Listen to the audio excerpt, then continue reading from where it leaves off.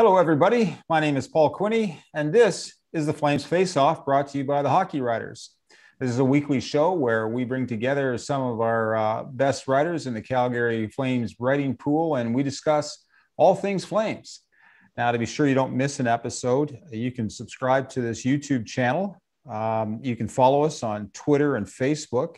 Uh, you can also like this video on Facebook and uh, YouTube and be sure to share it with your friends. Um, and one of the things you won't want to miss is some of the great content that we have on thehockeywriters.com. So, with that, let's uh, introduce our panel of writers. Uh, we have uh, Mr. Colton Pankiw. Hey, Colton, how are you? Hey, Paul, I'm good. Thanks. How are you? Really good. Really good. Uh, and we have Brett Krauss. Brett, welcome. Thank you. As always, good to be back for another week. Great. Nobody's stolen those flame sweaters yet? no, not yet. All right. Don't reveal your address. and none, none other than uh, Mr. Greg Tysowski. Greg, welcome. How are you? I'm good. I'm enjoying uh, the weather and the, the snow is melting my backyard. So I can, uh, I like spring. Spring has sprung in Calgary, which is good. All right. I think it has across the country. Um, so let's uh, let's get at it. So what happened last week? Well, the Flames uh, basically split their uh, two sets with uh, taking one from the Oilers and one from the Leafs. Um, but unfortunately, they've lost ground vis-a-vis Montreal and Vancouver. And at 33 points, they're still four back of the Canadiens, um, two back, and they've got two games in hand. That's a concern. Um, they're two back of the Canucks, who look like they're on a tear. And uh, assuming that you need 625, 65 points to get into the playoffs. Uh, that means the Flames will probably have to play 600 hockey or win two of three games. Not apparent, even under Sutter, that they can do that. So, what's your take uh, on where they are at the end of this week? Uh, Colton, let's start with you. Yeah, I think all things considered, it wasn't a terrible. I mean, it was a pretty tough schedule. I know Toronto's been struggling a bit lately, but I think everyone's pretty much in agreement that they're the top team in the division. Um, so I think getting one against them and the Oilers, who have had a pretty good season too, isn't a terrible week. But given where they are in the standings right now, it's it's not good enough. They needed to, I think, get six points. Um, hopefully, they have two coming up against the Senators here. So I think those will be crucial for them. They've kind of struggled with Ottawa this year, so they really need to pick those four points up. Yeah, um, what about you, uh, Brett? Any any concerns or? Uh... Um, yeah, I'm I'm fairly fairly happy with the week yeah. for the guys. Um, I was kind of thinking two wins was it was bare minimum, but um, happy with it uh, after this week. Um, still time to turn things around. I mean, just looking at the standings, they only have one more regulation loss than the Oilers. So, you know, there's there's still I think there's still a fair amount of runway here. Um, but they are running out of time to turn it around. And yeah. Um, yeah. yeah, I think same with Colton. You gotta gotta figure it out against Ottawa and and pick up those points. All right. Greg, how are you feeling? Should uh, Calgary fans be worried or? Well, I'm not setting my hair on fire just yet because in the Sutter era, 2.0, as they say, um, he is four and two, which is winning, you know, two out of three games, which is what they have to do to try and get back in this thing. I'm a bit disappointed that they didn't gain any ground. I remember when we talked last week, you know, like those two Montreal games were like critical, you know, and they won both of them, you know, and it was, oh, great, you know, they're back on track. But then, like Montreal has been actually picking up points, even when they lose, they they they pick up points. It seems like and I don't, I don't know what you guys. I did not see Vancouver getting back into this. You know, like say two weeks ago, I'd have thought, you know, those guys are buried and done. And, and now we've got Vancouver and Montreal to contend with to try and catch. But um, if if the Flames can continue to win two out of three under Sutter the rest of the way, I think they're in. They're in, they probably squeak in, but then who knows what will happen in the playoffs. But um, you know, I'm not uh, too concerned just yet because I'm but you're right about the the Ottawa games. They the Flames have been the weakest link, you know, in this division when it comes to taking points from Ottawa, and um, they have to get these two games. And, and, and I think with Sutter, you know, at the helm, I think he uh, he will get the most out of these guys against the weaker opponents. You know, like I said, because they have to show that they can get these points. And, and you know, like we said, must-win games for Montreal. Well, these are must-win games against Ottawa, just just to stay paced, stay close to these guys. So yeah, well, you know, to your point, I guess the uh, the other teams have to play 600 hockey as well. Yeah, uh, to stay in the race. Um, but I, I, I, guess I was scratching my head. I mean, you, they played a good game against uh, the Oilers on Monday night, uh, solid effort, and then the next night you got a blowout seven to three. They go into Toronto, play a really strong game there, and then uh, last night, while it was only a two nothing loss, uh, there were just lapses in their game. And I think if it hadn't been for the goal coast, the goalposts, uh, that game could have been a lot worse. Um, the Leafs got lucky. Um, I think Rittich should probably buy the, uh, I don't know, the goalposts a steak dinner. Uh, I don't know what they eat goalposts, but uh, you know, I don't either. Actually, uh, I have no idea. the um, but what uh, I don't know. What are you, what are your thoughts, Colton? Any any? I guess what I'm saying is there's have they erased the inconsistencies uh, based on what you've seen? Um, I, I mean, I it's tough to say. Like that game against the Oilers, obviously, I think seven three final, which like Greg had uh, said, it's happened quite a few times this year where they've been on the wrong end of blowout defeats. I mean, you'd like to chalk it up to just it's Connor McDavid. Sometimes those games will just happen. Obviously, he's one of probably the best player in the league. Um, but it, it, seems to be happening so often. And I really was hopeful when they hired Sutter that that would kind of go away, and obviously hasn't. And, and again, those games can happen, so it could just be a one-off. But it's concerning with how many times it's happened this year. Yeah, yeah. Brett, uh, what's your take? Uh, am I making things up here regarding inconsistencies, or uh, have they been erased, or are you concerned at all? Uh, I don't think they've been totally erased, but I, I kind of thought that the Edmonton game was sort of multiple factors. I think there's a couple Markstrom really wants back, um, mm. and just small fixable mistakes. I think there was, you know, Lucic turned it over right to Connor McDavid, over to Nugent Hopkins into the back of the net. Um, Michael Backlund, I think, turned it over in the zone as they were, you know, trying to break out and Draisaitl over to Dominik Kahun into the back of the net. And so I, I think it's small details like that, which I, I think they looked better than they have in some of their blowout losses. I think it was just some small mistakes, um, not their best goaltending, and uh, just of course Connor McDavid being in a league of his own right now. Yeah, yeah. Well, Greg, speaking of, you know, Brett mentioned uh, blowout loss. I know you've written an article on their blowout losses the last couple years. It was a good piece. Uh, we'll get to it later uh, in the show, but uh, what are your thoughts on inconsistency as a theme? Is it uh, still part of the Flames' uh, makeup?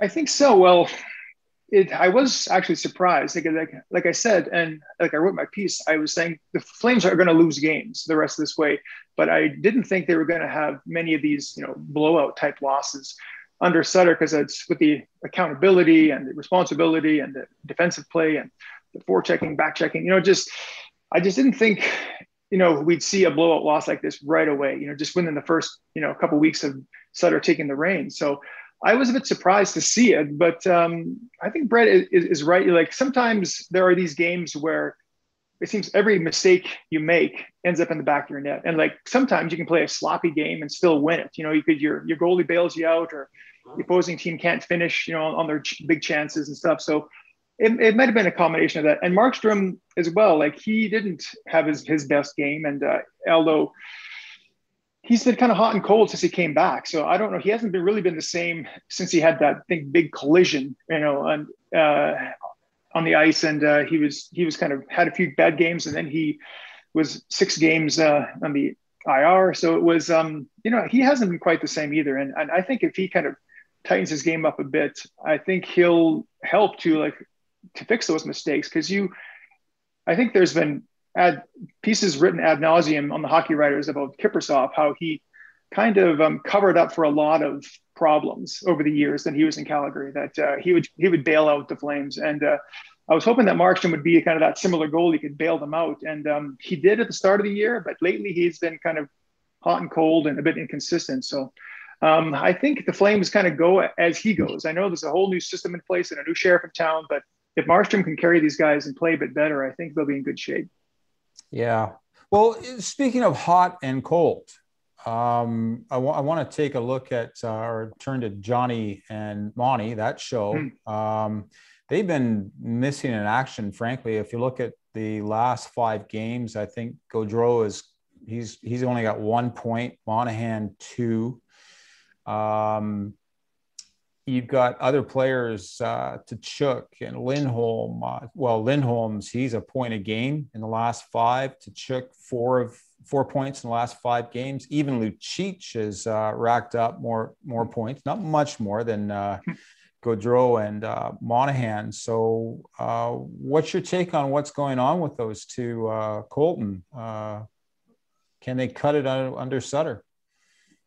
I it's it's confusing because even last year, you look, those two really had off years, and then to start this season, I know Monahan wasn't scoring much, but their point totals through, especially Gaudreau, it looked like he was really having a strong back, and um, yeah, I don't know. Since then, it's just kind of went back, kind of to what it was last year. I, I do think that they'll be able to get back on track. Obviously, like you said, one point in five games for Gaudreau, he'll he'll snap out of that, but it it is concerning and. Uh, it needs to obviously turn around right away if they want to play that six hockey like you're like you're saying they'll have to down the stretch.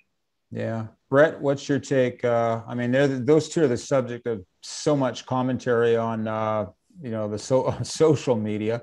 Mm-hmm. Um, what would uh, are they on the trading block if if as Facebook demands?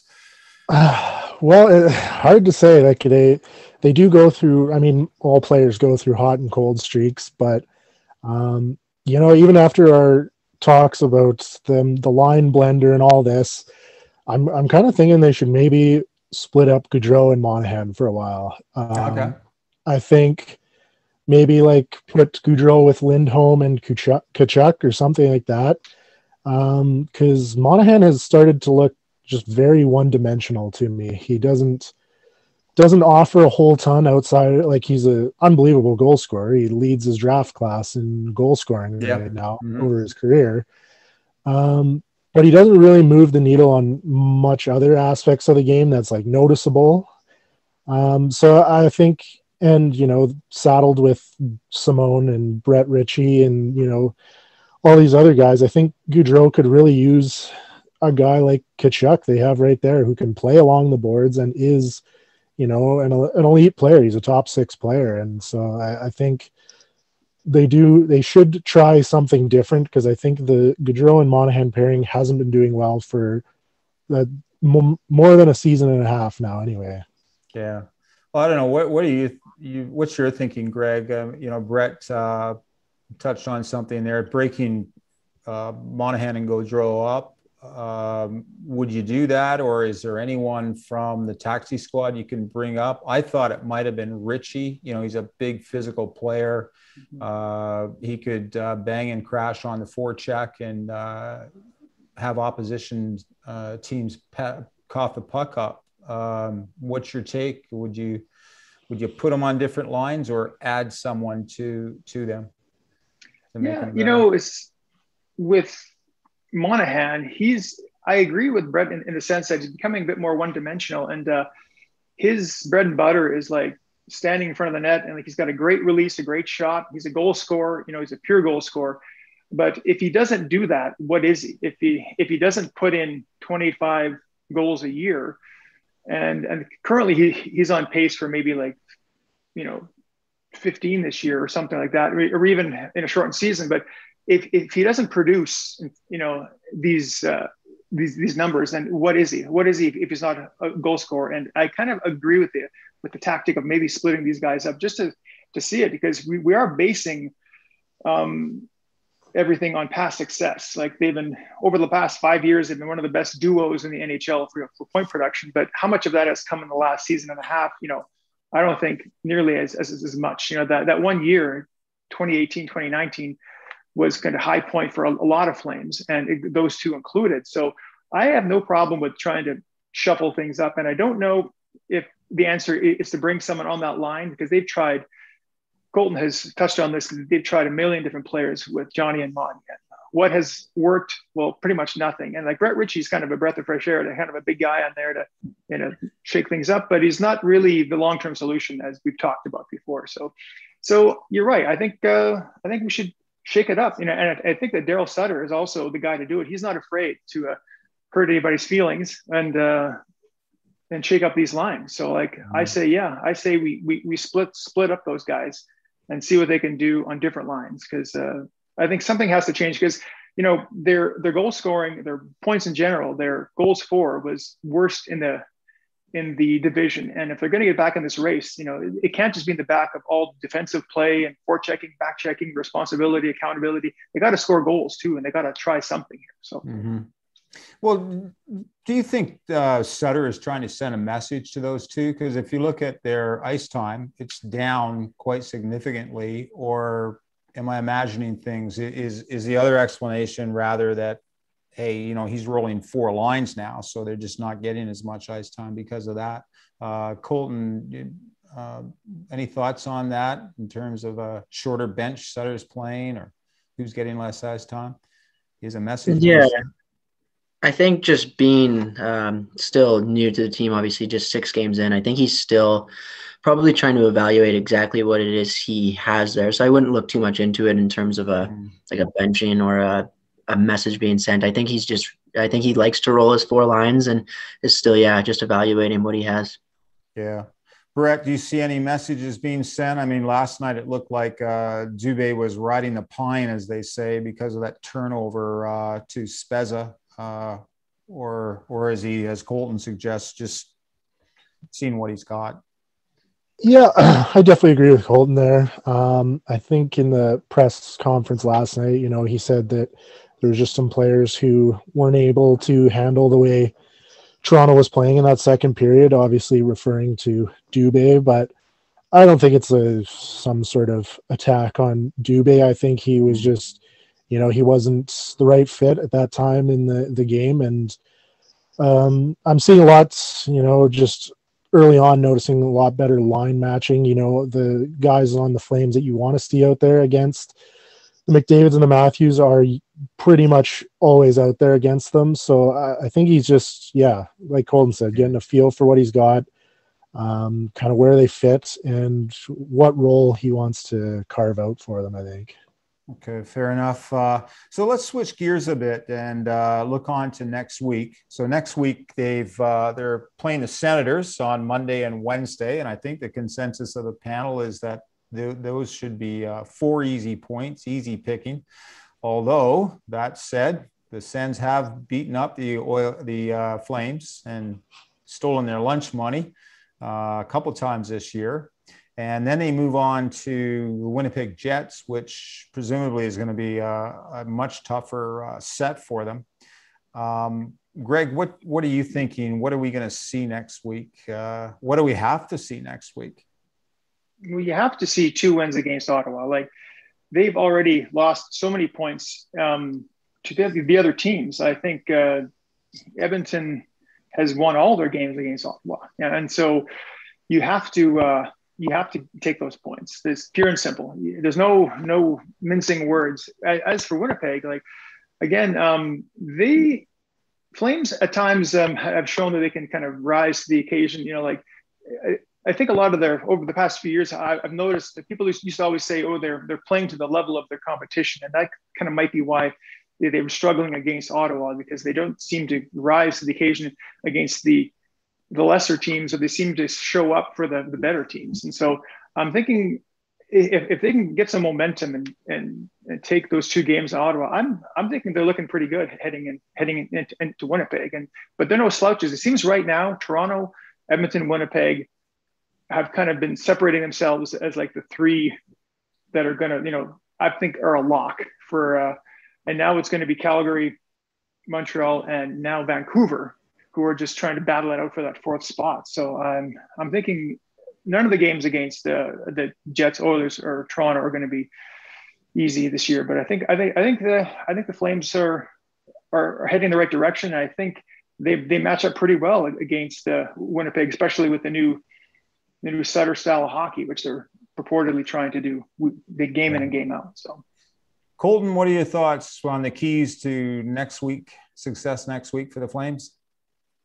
Yeah, like we said and Greg just touched on, I think the Ottawa games you you have to get four points there. Um, heading into Winnipeg, I think Winnipeg is kind of the team in that division that doesn't seem to get talked about as much as the obviously the Leafs and then even the Oilers as being one of the division's top teams. I think they're a really underrated team. So um, those would be a bit tougher. I think you you're looking to get one for sure against Winnipeg. I mean, obviously if they can get both, that's that's ideal. But I think if you can get both against the Senators and pick up two points in those two games against the Jets, uh, that's a pretty good week for them. All right, uh, Brett, your take on next week? Uh...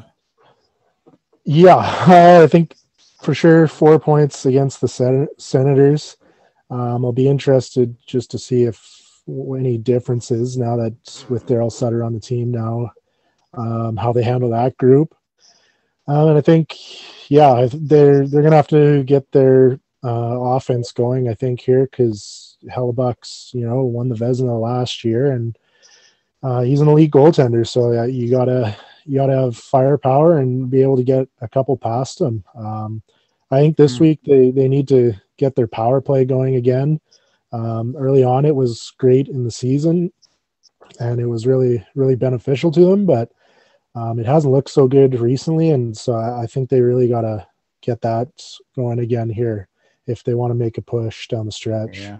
Well, that's an interesting point. You you you raise uh, Hellebuyck. He's probably one of the best goaltenders in the league, uh, certainly in the division, and uh, they'll definitely need firepower. But that's the problem. I was looking at the stats this morning in Calgary.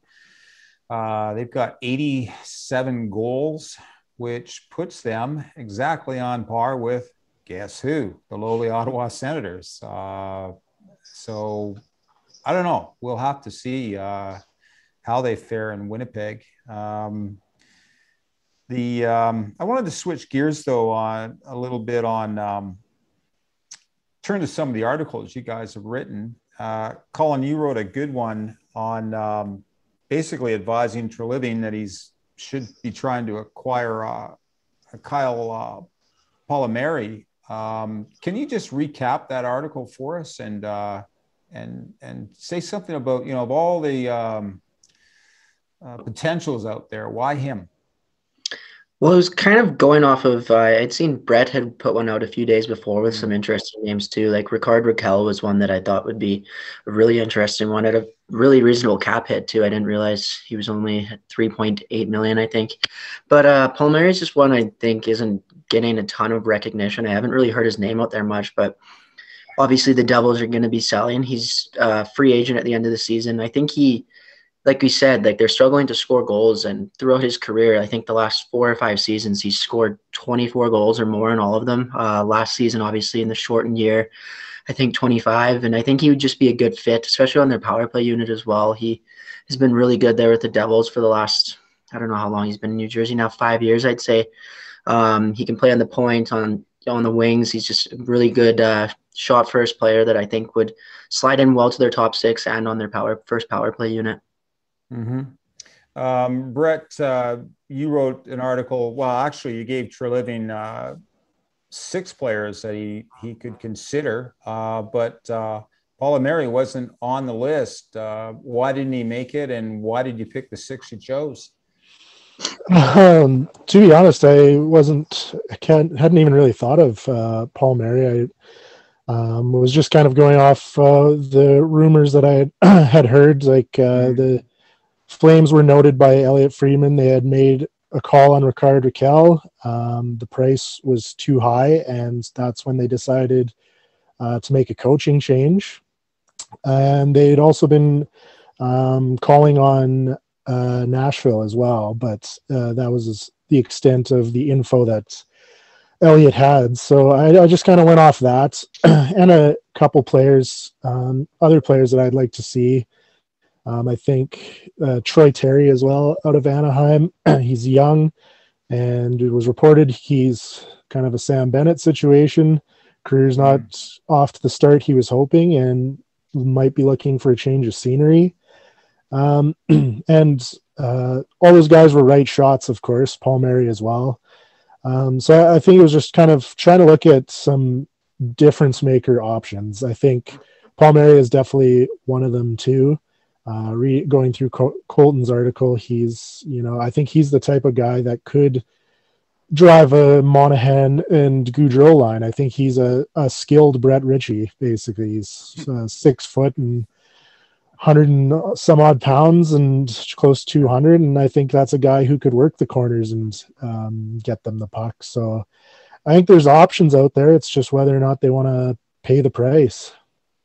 A skilled Brett Ritchie. I love it. Uh, Imagine that. Greg, uh, what are your thoughts on Palmieri and uh, some of the others that, that uh, Brett was suggesting? Anything leap out at you? Anything you'd act on if you were Treliving? Well, it uh, in a regular year, I think he would be smart to to try this. You know, but this this crazy COVID nineteen restrictions and the fourteen day quarantine and all this stuff, it just puts a damper on everything. You know, it's just you would you would love to see you know them try something, even though Treliving has recently said that he's not a big fan of rentals and everything, but um, but um, I, I would love to see it. And like I just recently read that Palmieri article, and and I too hadn't really thought of him, and I think that's intriguing to me. You know, like uh, um, that's not a bad move, and if if they could pull it off, that would be great. But I think they have to do it kind of sooner than later because I don't think you can completely. The longer you wait, you know, and then you get closer to the trade deadline, and then you have the whole you know 14 day waiting period. So I think you if you want to grab somebody, you should kind of get the deal done sooner than later so you can get that out of the way because you I don't think you really want um, to wait, you know, too close to end of the year by the time the, the player gets into your lineup. So, but uh, of, of all those players, yeah, I, I hadn't also thought of Palmieri. He kind of jumped out at me as well as maybe he'd be the fit that yeah. Flames need because they I think they need something. Like they've they looked at their you know their taxi squad. They've shuffled lines. You know, like there's a bunch of AHL guys that we've talked about, but uh, do you, do you really want to like try these AHL rookies? You know, at this point in the season. I think uh, maybe a proven guy like Palmieri is the guy. You know, why not? I like it. Well, one thing's for sure: if he's gonna if he's gonna pull a trigger on this, he's got to do it soon. Uh, mm-hmm. To to you know, with a 14 day quarantine and so forth. Um, I wanted to switch gears. Uh, we were talking about blowout blowout losses, and Greg, I, I referenced the article you had written: uh, six blowout losses in six weeks. The Flames have a history of losing big. Um, recap that article for us, Greg, and uh, tell us uh, what's behind that. Why is that the case? You know, I didn't even really, really. I started doing the research when I after they lost like six and six weeks. I started looking back in past seasons, and um, I was a bit surprised that this trend kept going back year after year, with the exception of their one, you know, golden year where they went to the where they with the top of the Western Conference. I went, went back six seasons, and they had uh, you know six years ago they had 20 losses by three or more goals, and um, and they've had a lot of coaches since then. You know Bob Hartley and Glen Gulutzan, Bill Peters, Geoff Ward, Darryl Sutter had just had, had the most recent one, and and the consistent and what's consistent about all this is that there's this core group of guys like Gaudreau and Monahan and you know and Tkachuk came in a, a year later and Giordano of course. And you know there's this core group and yet they're still not getting the job done either. I don't know if they're not playing for each other if it just if this group is just not the right group you know because this these numbers don't really lie and i and i said in my piece that this is probably the last bullet in brad treliving's chamber like if this doesn't work if if uh, darryl sutter can't get the most out of the, this group this core group that's been you know getting these blowout losses handed to them year after year after year you know, I think we we're, we're going to see big changes. You know, you know, trade Johnny, you know, trade Monty. You know, do what you have to do to try. You know, Giordano. You know, do what you have to do and kind of do kind of a, a rebuild and keep Tkachuk. You know, and keep some of the younger guys. But you know, it's all. I think it's open season for this yeah. for this uh, for trades and for rebuilding after the season if things don't turn around under Sutter. with this group. That's so that, that that's kind of the whole point. And I was a bit surprised at how many blowout losses this group has suffered for six seasons. So, mm. and uh, look out, look out if it doesn't turn around. That's my that's my theory. Brett, what's your take? Uh, is is there a tradition of blowout losses? Can Sutter stop it? And if he doesn't, um, I don't know. Are we looking at a new general manager possibly in, in Calgary? Uh, yeah, it's hard to say. Like, there's a lot of factors that go into that. Um, I definitely think that, yeah, Greg's right. There's like, it's noticeable. If you're a Flames fan, you've noticed that there's nights where they're just awful. And uh, yeah, I'm not sure. You'd have to take a deep dive into each game to see because they just kind of look flat and they just collapse and nothing goes their way that night. Um, so I think there's yeah a lot of things, but um, for sure I think next season, because uh, uh, surrounding this season, there's there's a lot of factors into an unsuccessful season, and you know we don't know how the guys are you know mentally doing outside of hockey as well. There could be other things going on there. Um, so I think next season, if you know all goes well regarding COVID and everything, and we can kind of get back to something normal, I think next season's a big, big measurement test for a lot of people's jobs. And who knows? Because I'm not really sure who is kind of would be firing Treliving if it's coming straight from ownership. Um, but yeah, I think it it could if next season kind of goes this same way, there could be a big big changes. I think. Hmm. Oh, Colton, what's uh, what are your thoughts? Uh, I know we're switching gears a little bit, but uh, is is Treliving's uh, job on the line if things like yeah. losses don't stop? Yeah. Yeah, I, I've kind of thought about writing something on it the last few weeks here. It's it's interesting because I think throughout his tenure, it was kind of the same thing. Like the maybe not the inconsistencies as much during the regular seasons, but by the time it would come to playoffs, it was always is this team built for the playoffs? Like, should there be bigger changes? And I think he's made some pretty good moves in his tenure here. I like I don't mind the roster. Even heading into this season, I expected them to be quite a bit better. So I like we said, we, we're all trying to figure out what exactly is wrong with this group. It's it's a tough thing to figure out, I guess. But at the end of the day, he's been there, I think, now for six years or so, and seven, it's kind yeah. of been mm-hmm. seven. Yeah, it's kind of been the same thing over and over. So, like Brett said, I do think just because of how odd this whole year is with COVID and everything, I, I do think he'll get a chance again next year. Um, but if it's anything like this again, then I'd say that he's probably gone for sure. Back in bags. Okay, gentlemen, as always, uh, great discussion, but we've run out of time. Uh, thanks everybody for joining us for this week's edition of Flames Face Off. Um, in the meantime, we'll see you next week. But in the meantime, uh, to make sure you don't miss an edition, uh, you can subscribe to this YouTube channel, uh, follow us on Facebook and Twitter, uh, like a, like this video on uh, YouTube and Facebook, and be sure to share what you what we've put out here with your friends. We'd appreciate it. And be sure to uh, check out the hockeywriters.com, uh, particularly on Monday Mondays when we uh, publish the uh, Flames Weekly, which will give you a nice recap of everything that happened to the Flames in the previous week and a look forward. And uh, be sure to check out the uh, great content that we've got at the hockeywriters.com. Until next week, take care.